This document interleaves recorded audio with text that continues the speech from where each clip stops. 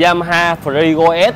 Thì à, có thể là các bạn thấy bữa giờ là em cũng hay là thường xuyên làm cái dòng xe này Frigo S. Đó, đây, camera quay xét vô đây giùm anh cái.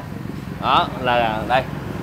Thì à, cái xe này á là dòng xe đời cao của Yamaha. Nó có ABS ở đằng trước. Thắng dĩ sử dụng ABS luôn.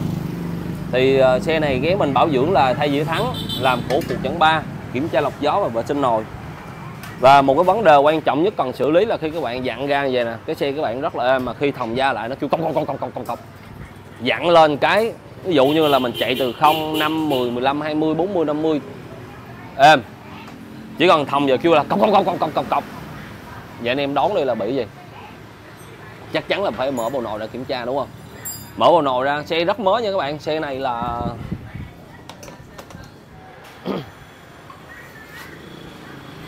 mười một ngàn cây. Đó, xe này là 11.000 cây. Và xe này đang báo hết pin ờ, chìa khóa nữa nè. Thì ờ, bộ nồi á, bình thường vệ sinh đồ lại cho chủ xe. Và trong quá trình kiểm tra thì bắt đầu là nghe bên láp nó kêu.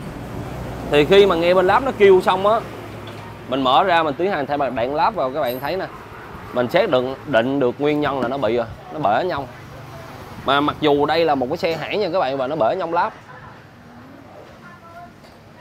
Nó bể luôn.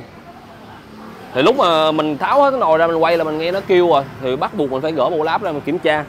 Thì vấn đề khó ở đây là anh tới ngày chủ nhật, hãng nghỉ. Đó. Vấn đề khó nữa là phải mua được bộ láp. Bởi vì dòng xe này là mới ra các bạn. Là cái thứ nhất. Cái thứ hai nữa là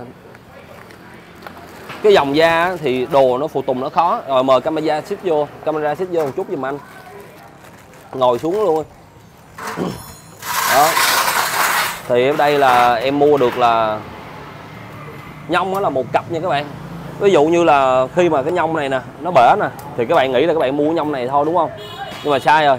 Nó là một cặp nhông chuyển động, khi mà cái này bể nó sẽ chém qua cái kia. Cho nên bắt buộc luôn các bạn mua là các bạn phải mua một cặp. Đó. Nó mới dẫn động được nó mới êm và nó chắc cú luôn nha các bạn. Rồi, thì ở đây là bên đó nó quýnh qua bên này luôn à đó, cho nên là khi mà mua thì nhớ lưu ý kỹ giùm mình. Rồi. Bây giờ là sẽ à, tiến hành là ráp vô lại cho chủ xe. Ở đây là vấn đề khó là làm sao làm phải ờ, mua được, chứ không mua được á, thì mình không có cách nào mình xử lý cái nhông bể được hết á đó. Nó bể, nó mẻ nè, rất là sâu. Thì mình quay clip ở đây để mình biết, cho các bạn biết là dòng xe nào mình cũng làm hết á. Rồi, mình cảm ơn các bạn nha. Lấy nữa mình quay à, mình ráp bộ láp vô xong đầu mình sẽ quay nhông ăn nhông là sao để các bạn hiểu tại sao phải thay một cặp. Nhông ăn nhông là sao? Thì cái nhông này của chủ xe nè, bể nè. Thì nhông này nó ăn vô nhông này. Đó. Thì nếu các bạn mà ví dụ bể này, các bạn không thay cốt nè. Các bạn không thay cốt này nè đó lấy nét không lấy tay chấm luôn. thì uh, nó cũng sẽ rột rột rào rào nó hú rất là khó chịu nha các bạn. Đó. Và cho nhông nhỏ này nó ăn qua đây luôn thì bộ láp nó gồm là một nhông hai nhông ba nhông nè. Đó thì nếu mà các bạn đã bị trường hợp mà bể vậy các bạn nên thay một lần ba cái nhông luôn cho nó an toàn hơn hơn.